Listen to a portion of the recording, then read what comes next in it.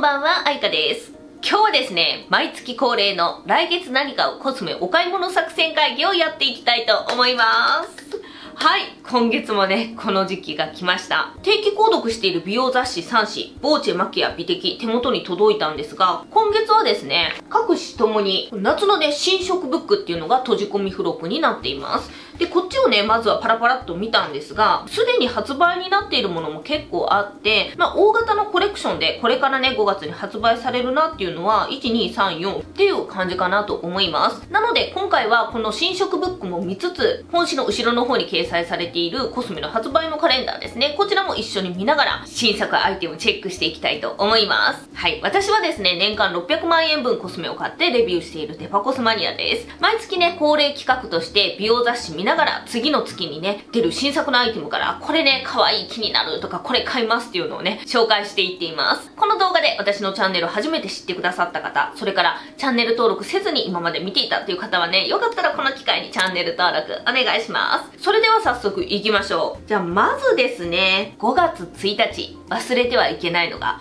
私と同じくゲランファンの皆さんお待たせしました。今年のアクアアレゴリアの新作、フローラブルームのオードトワレと、それからフォルテフローラブルームですね。こちらが発売になります。このオードトワレの方が、ま、以前からあるね、アクアアレゴリアのラインなんですが、このフォルテっていうのが、オードパルファンですね。少し濃度が高いタイプになっていて、このトワレとパルファン、今後は一緒に出るようになるのかな大雨が降った後、南米アタカマ砂漠が色とりどりの花で覆われる奇跡の現象、スーパーブルームからインスピレーションを受けたフレグランス。ということなんですが、ちゃんとね、このトワレとオードパルファンで香りのイメージも違っているそうで、まず、トワレの方ですね、カラフルな花々のブーケの輝きをイメージ。そしてオードパルファンは色鮮やかな花々が夕暮れに包まれる情景を思い描くような温かみのある香りということなので、まあこれはやっぱ両方とも嗅いでみたいですよね。ちなみに、トワレの方が14,960円、そしてオードパルファンの方が17,160円です。まあどちらもまだね、1万円台で買えるっていうところが良心的かなっていう気がします。そして5月1日もう一つ、これもね、私チェックする予定なんですが、ポールジョー・ボーテから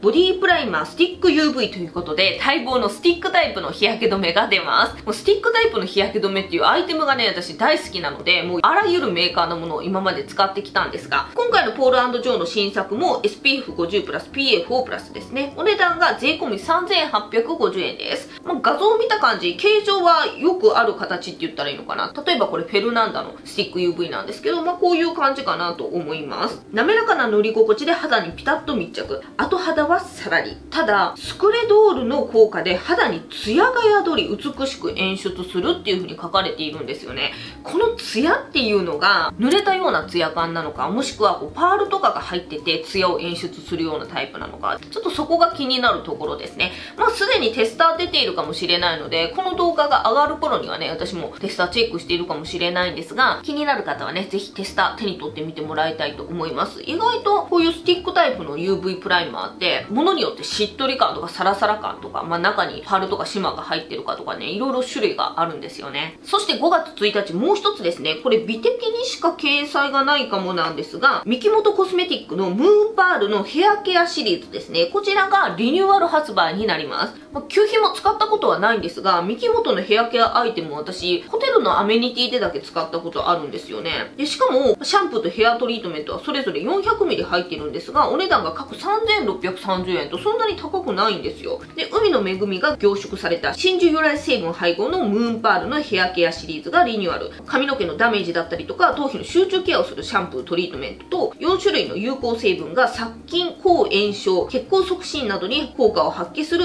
薬用育毛エッセンスもという風に書かれていて、ちょっとこのシャンプーとヘアトリートメントですね、ここ試してみたいなと思っています。なんか、ツヤツヤになりそうじゃない？真珠だし。という風に安易な考えを持っているんですが、そしてね、ちょっと待って、もう一つ、これもね、なんか良さそうだなと思ったのが、アナ水からですね、ウォーターパウダー N っていうのが限定発売になります。こちらは水を抱え込んだパウダーを肌になじませると、触れた瞬間水が弾けて、みずみずしいひんやり感を得られるパウダダーということで、心地よい清涼感を得られるように、メントールも配合されているそうなんですが、皮脂の吸着効果もあるということで、まあ、乾燥するので、お粉がね、しっとりするものがいいっていう方もいらっしゃると思うんですが、同じくらいね、夏場ってやっぱメイク持ちも気になると思うんですよ。なので、この皮脂も吸着してくれつつ、水分が弾けるっていうところで、このパウダーね、すごく良さそうだなと思いました。まあ、今手持ちの中で一番しっとり感を感じるのは、ランコムのアプソリュのパウダーかなっていうふうに思うんですけども、まあ、過去にはね、海外コスメのベッカのパウダーがこういう水分のたっぷり詰まったパウダーっていうのでね、有名だったと思うんですが、残念ながらそちらがもうディスコンというかブランド自体がね、なくなってしまったので、ちょっと久しぶりにこのキーワード読んでて、おっていうふうに思いました。これちょっと欲しいですね。はい、そして次5月2日ですね。今季あんまりベースアイテムの新作出ないなと思っていて、もっと言うとクッションファンでほとんど見かけないなと思っていたんですが、出ます。しかも ST ローダー。ダブルウェアソフトグローマットクッションメイクアップ SPF45PS3 プラスというアイテムが出ます。まあ、ST のあのダブルウェアのシリーズのクッションファンデのようなので、これはかなり期待できるんじゃないかなと思っています。お値段が5色展開各9240円ですね。崩れにくさに定評のあるダブルウェアシリーズにクッションファンデが仲間入り。みずみずしいテクスチャーでツヤを秘めたマットな仕上がりを実現。メイクしたての美しさを24時間キープするということで、やっぱりり夏のね、持ちのいいファンデーションの代名詞というと、エスティローダーのダブルウェア、それからね、ディオールのフォーエバーなんかがね、人気かなと思うんですが、もうついにクッションファンデですよ。まあ今までなかったのがちょっと不思議なくらいなんですが、こちらはね、ちょっとダブルウェアを夏場愛用している人間としては使わないわけにはいかないので、しっかりレビューしたいと思います。そして、はい、来ました。5月といえば、山場一つ目は3日だと思うんですよ。3日の金曜日ですね。もう大型コレクション2つ出ます。シャネルとディオールです。やっぱここはね、夏の新色ブックの1ページ目見開きで掲載されていたんですが、じゃあシャネルから行きましょう。まあ、シングルシャドウだったりとかね、ちょっとブロンザーみたいなパウダー、それからカラフルなね、マスカラなんかが結構掲載されているんですけど、もちろんまあこれも見たいなっていう感じではあるんですが、私がね、気になったのは、ボーチに掲載されているチャンスオーフレッシュサボンということで、チャンスのね、石鹸の限定のキットですね。4つ入ってお値段が14,300円なので、ギフトとかにもいいかなと思います。でね、それぞれ型押しがされててデザインもすごく可愛いんですが、シトラスやジャスミンの弾けるようなフローラノートのチャンスオーフレッシュの香りがほのかに香る石鹸ということで、チャンスにまつわるシンボルですね。クローバーだったりとか、まあ、チャンスのボトルとかですね。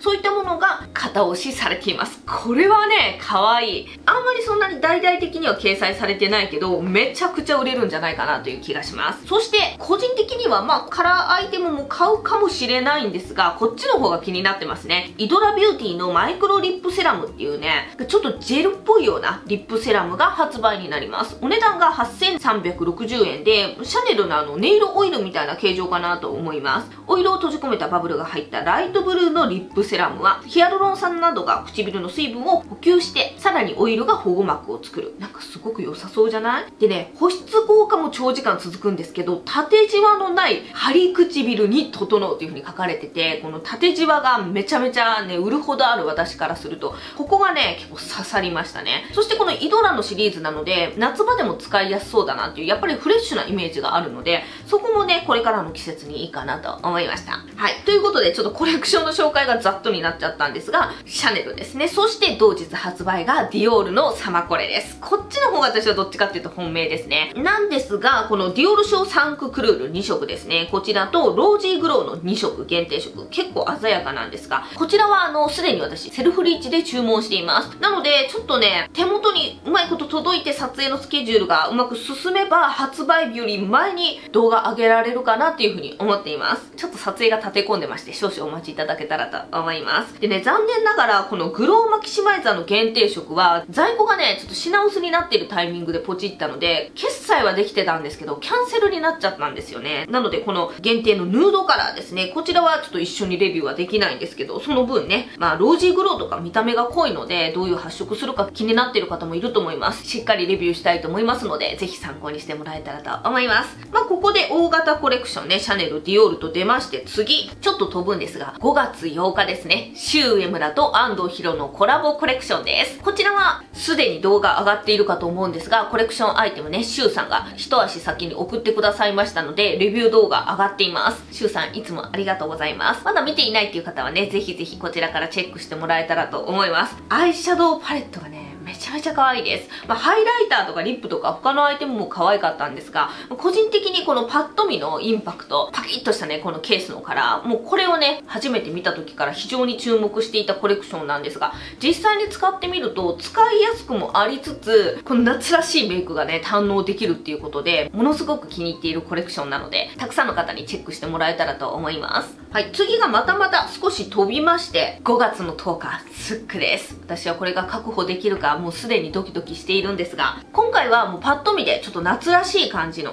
鮮やかなカラーがね、たくさん使われたコレクションかなっていうふうに思います。で、いつも通りね、シグニチャーカラーアイズの限定色が2色、それからトリートメントラッピングリップですね。あの、リキッド状のリップ、こちらも限定2色。今回ね、初のアイテムかな、クリームタッチブラッシュリップという、まあ、ジャーに入った練りタイプのアイテムですね。こちらが限定で3色発売になります。まあ、他にもネイルポリッシュとかあるんですが、私の狙っているアイテムは、パレット、リキッドリップ、そしてブラッシュリップですね。まあ、結構赤みだったりとか、オレンジみっていうのがしっかりあるので、使いやすいコレクションかって言われると、ちょっと難易度高いのかなっていう気がするんですが、まあ、非常に今年の夏らしいというか、結構大人っぽい色出しになっているので、まあ、ここはやっぱ使いこなしたいなっていう欲が勝ちますね。まあ、毎回言っているんですが、売ってくれさえすれば買うコレクションです。はい、そして次ね、そんなに派手なアイテムではないんですが、これ買います。5月14日発売の MAC のプロブロディファイナー IMM チップペンシル。ということで、アイブロウペンシルですね。全14色、各3630円ということで、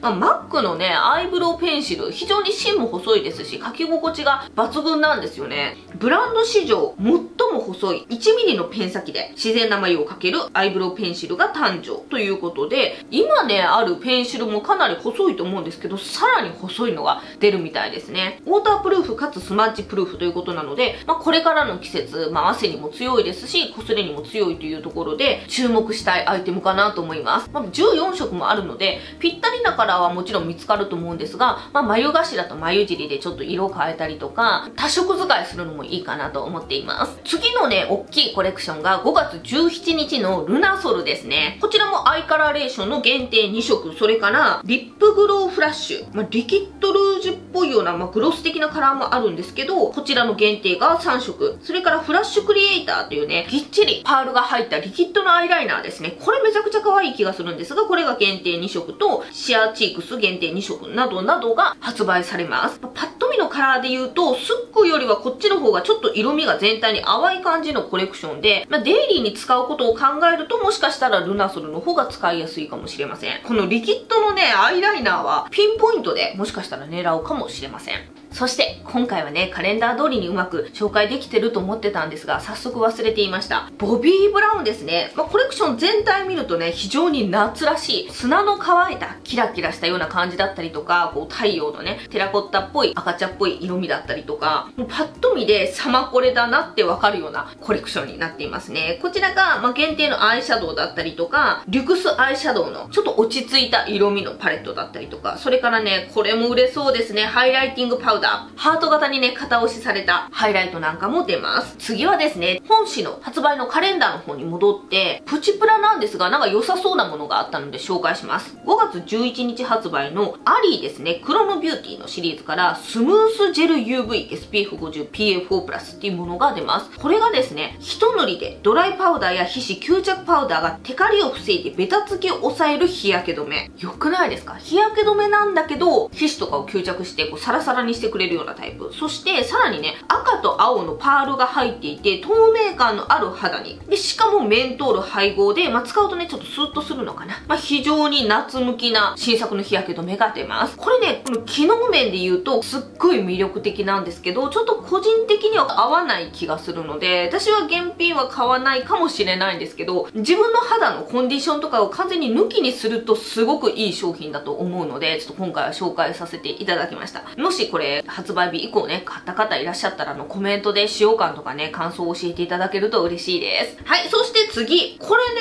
あんまり掲載されてなかったんだけど、ボーチに載ってました。5月15日ですね、シュウエムラからですね、人気のルースパウダー、まあ、青竹ブルー爆発的にヒットして限定色だったのが定番カラーになったんですが、昨年の春に限定発売されて人気が出たスミレカラーのパウダーがね、復刻します。その名もスミレモーブですね。お値段が6490円。それからプレストパウダー6820円というものも出ます。まあ、どちらもね、皮脂を吸着してくれてサラサラに仕上げてくれるので、夏場のメイクをね、しっかりキープしてくれるパウダーおすすめありますかっていう風に聞かれると、私はもうメイクアップフォーエバーナーズシューっていう風にあげるようにしているので、もうこの御三家ですね。ここのパウダーなので、この新作もね、間違いないかなと思います。まあ、言われてみれば、青竹ブルーが定番化したけど、スミレモーブは定番化してなかったんですね。パープル、スミレカラー、それから藤色系のカラー、今ね、まだまだ人気続いているので、これも初回入荷分はかなり売れるんじゃないかなと思います。はい。そしてね、5月、まあ、どうしてもメイクアイテムとかね、まあそういう皮脂を吸着してくれるようなベースアイテムとかに目が行きがちなんですが、ちょっとスキンケアで気になるものもね、紹介していきたいと思います。5月16日、コスメデコルテの AQ のシリーズから新しいジェルクレンジング、それから洗顔フォームですね、発売になります。クレンジングの方が7700円、ウォッシュの方が6600円ですね。で、肌の透明感を阻害する毛穴の汚れに着目したクレンジング洗顔料。で、ジェルの方もオイルフリーで、汚れをね、吸着して絡め取ってくれるようなタイプ。そして、洗顔フォームの方は、微粒子の泡がね、毛穴の中の汚れまで除去ということで、まあ、夏向きな使用感なのかなという気がします。でも、コスメデコルテの AQ のラインって言われると、まあ、ただ単にスッキリするだけじゃなくて、美容液成分もたっぷり入ってるような気がするので、ちょっとここ良さそうですね。私、コスメデコルテもちょっと先行乳液とかね、その後に使う化粧水のアルコール感が強いというところで、基礎化粧品はなかなかね、デイリーに使うことができないので、こういう落とすアイテムだと取り入れやすいので、ちょっとここはね、サンプルもいただいているので、試してみたいと思います。そして、5月20日ですね、オルビスからですね、なんとクレンジングバームが限定発売になるそうです。まあ、オルビスのクレンジングっていうと、私がもう大昔、もう20代の頃から使っているリキッドタイプ、それから、まあ、後肌がすごくしっとり仕上がってくれるクリームタイプ、まあ、そこが有名かなと思うんですけど、ビタエンリッチクレンジングバーム2640円っていうものが限定で出ます。これがね、美容オイルで洗う発想のバームクレンジング。角栓クリア成分が配合されていて、肌に必要な潤いを残しながら、角栓を溶かして滑らかな肌に洗い上げる。セラミドやビタミン C も配合ということで、毛穴ケアに関してはね、かなり質問いただくんですけど、個人的にはやっぱりこう剥がして取るとか、ピンセットでつまんで取るとか、そういうのはあまりおすすめをしていないんですよね。じゃあどうやってケアするのっていうふうに聞かれるんですけど、やっぱり溶かす。それが一番刺激は少ないんじゃないかなと思います。それもまあクリニックとかのね、こうケミカルなものになると、もちろんごっそり落ちるとは思うんですが、ちょっと刺激の面も心配なので、こういうデイリーに使えるクレンジングアイテムだったりとか、まあ、毛穴専用のアイテムで優しくね、マイルドにこう日々ね、ちょっとずつ溶かして取るっていうのがいいんじゃないかなと思っている派なので、角栓とか悩んでいる方にはね、こちらいいんじゃないかかなと思いました。そしたらラストですね、同じく5月20日、こちら、ちょっとライブでは紹介したんですが、ハッチのボディウォッシュ B ハグから限定のハニーピンクペッパーというね、香りが発売になります。お値段が 385ml で5500円。ハッチのね、ブランドの誕生の20周年記念のアイテムとして発売されます。ハッチさん、20歳のお誕生日おめでとうございます。で私はもうこの通常版の B ハグを常にね、バスルームで愛用しているんですが、こっちはね、うん、すっきりしたね、レモンの香りもするんですが、やっぱり蜂蜜レモンっていう感じで、ちゃんと蜂蜜の甘さもありますし、まあ、その中にちょっとピリッとスパイシーさも感じられるような、非常に夏らしい、手に取るのが楽しみになるような香りになっています。で、こちらね、外箱もすごく元気なね、ビタミンカラーになっているので、